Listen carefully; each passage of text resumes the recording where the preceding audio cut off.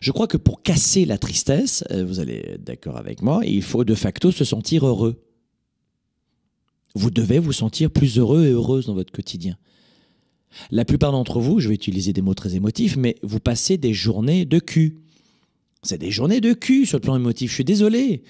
C'est-à-dire que vous partez le matin en courant au travail, vous revenez le soir euh, épuisé, puis vous essayez d'attraper le, métro, le transport en commun le plus rapide, le, plus proche, file d'attente, hiver, les virus, les machins, le travail, les conflits, les désaccords ou les inimitiés. Quand vous êtes là depuis longtemps hein, dans une entreprise, il peut y avoir des inimitiés qui se créent, qui se soudent comme ça.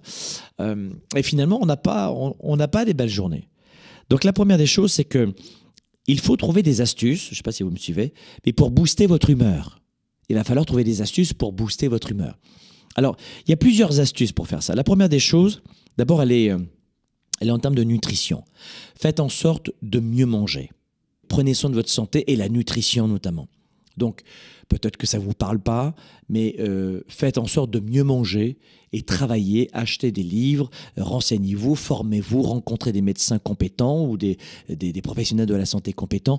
Travaillez sur votre santé. Pourquoi? Parce que la nourriture a un impact direct sur notamment ton énergie. Qu'est-ce qui consomme le plus d'énergie? La digestion. Qu'est-ce qui t'empêche d'avoir de l'énergie? Ben, C'est le manque d'oxygène. Qu'est-ce qui apporte de l'oxygène dans les, cellules? C'est les globules rouges.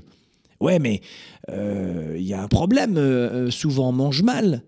Donc, il y a une mauvaise oxygénation des globules rouges. Et ce qui fait que tu es fatigué, c'est le manque d'oxygène dans le corps.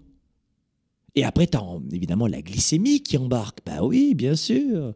Ouais, bien sûr. Il y a l'insuline qui prend le relais aussi, qui pète dans les compteurs.